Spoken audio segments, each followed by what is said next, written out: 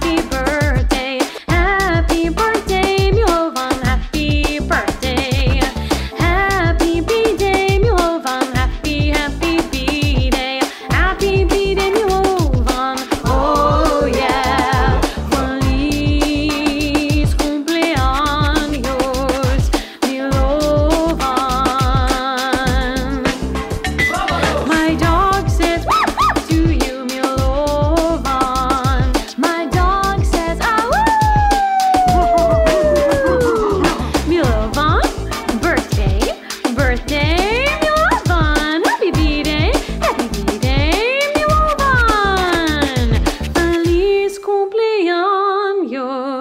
Lovan, yeah.